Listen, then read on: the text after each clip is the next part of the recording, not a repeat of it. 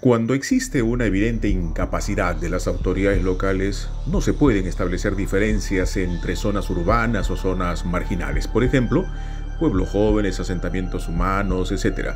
No está de más precisar que no es menos vivir en estos lugares. Nuestra diferencia es por la falta de condiciones de vida de estas personas. Acá en el Parque San Vicente hemos tenido tres piletas y las tres piletas han atentado con las tres. Han robado los aros y todas las bombas sumergibles de cada una. Que este pasadizo, en esta urbanización que une el pasaje Santa Rosa ya hacia la urbanización San Joaquín, dice que tiene propietario, tiene dueño, algo que en realidad nos ha llamado poderosamente la atención. Esta es la patética realidad en que viven los vecinos de la urbanización San José, colindante al segundo o tercer colegio más caro en la provincia, el San Vicente de Paul. Ahora en la pileta central, si ustedes ahorita nos podemos acercar, al costado hay una cisterna que está abierta y prácticamente hay agua estancada y era un foco de generaciones de la, que son de larvas de zancudo se les notificó ah. a la municipalidad y en este caso a, Emapica y Emapica nos salió diciendo de que no es su competencia, que la competencia es la municipalidad y de ahí la municipalidad dijo que era competencia de Emapica.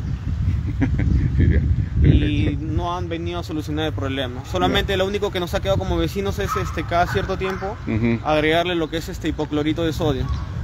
Mire, este, eh, para explicarle a nuestros seguidores en estos momentos, este circuito de aguas o esta pileta está tan igual o peor que la plazuela Bolosnés y la plazuela Barranca. Está lamentablemente olvidada, descuidada y hasta víctima de robo, tal como lo explicaba aquí el señor José Luis.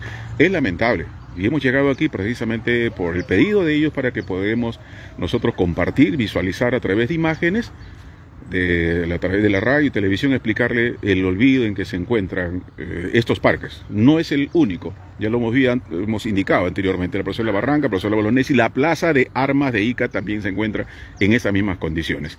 Y algo deplorable, ¿no? O sea, que esperen la nueva gestión municipal para que pueda hacer algo al respecto. ¿Algo más que quería agregar usted, señor? Justo para poder acercarnos en el punto de de la, de la cisterna que está abierta, estos nos dijeron de que no este, era para competencia de Mapica y en Mapica nos dice que es competencia de municipalidad. O sea, ambos no... Esto si pueden visualizar que hemos tenido el tema de robo acá de... Aquí han cortado los cables, ¿no? Sí, correcto. Sí, pues sí, los han cortado aquí con sierra, por lo visto. han utilizado con toda la paciencia del mundo, han tenido para robarte eso.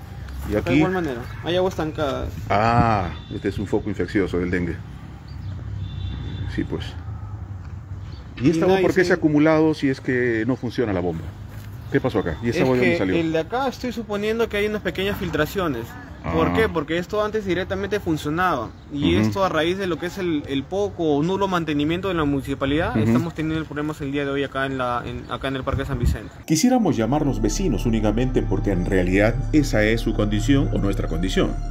Pero en el contexto lo llamaremos afectados, quien nos narra que su parque es uno de los más grandes de la ciudad, pero uno de los más descuidados, sin iluminación, piletas cuyos motores fueron robados, etc. Eh, prácticamente esto habrá funcionado un año y de ahí a raíz de eso se ha podido percibir que las personas extrañas a la organización mm. han empezado a jalonear lo que son las, pequeñas luminarias, inclusive si usted puede acercarse un poco más, se han robado la, una bomba que teníamos acá, ah. una bomba sumergible.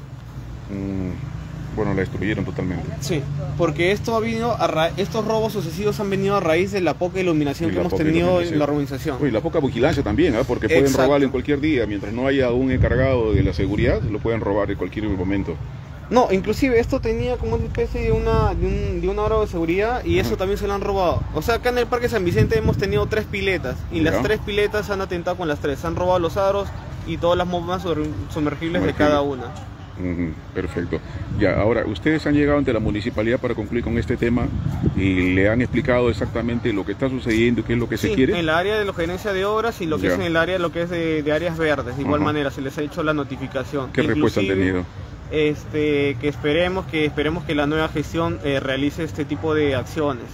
Inclusive en la pileta central eh, ¿Cuánto le dijeron eso? Discúlpeme. Esto habrá sido hace unos dos meses atrás. O sea, en dos meses atrás prácticamente seguido, discúlpeme la expresión, tiraron la toalla y le dijeron ya no vamos a hacer nada y que venga la nueva alcaldía. Sí, la nueva alcaldía es correcto. Las imágenes del descuido, abandono, deterioro de un parque pueden ser perdonables, aunque los que pagamos impuestos no debemos dar tregua a nada. Igual, debemos exigir que estén en buenas condiciones, pero, pero vamos, lo que resulta inconcebible es que la vida de los vecinos esté en riesgo por las zanjas de obras abandonadas como las que veremos a continuación. Hay una necesidad inmensa de que se difunda estas deficiencias que están teniendo los vecinos. Acá hay una obra, un trabajo que se inició hace algunos días atrás, bueno, ya los vecinos han explicado desde cuándo, pero que llaman porosamente la atención que se ha quedado así. Bueno, los han dejado en todo caso. Ellos nos estaban explicando que lamentablemente eh, ni la propia municipalidad o la empresa de agua ha podido concluir estos trabajos porque se encontraron algunos vicios. Además, también otra cosa que nos va a aclarar a los vecinos, que este pasadizo, en esta urbanización que une el pasaje Santa Rosa, ya hacia la urbanización San Joaquín, dice que tiene propietario, tiene dueño, algo que en realidad nos ha llamado poderosamente la atención.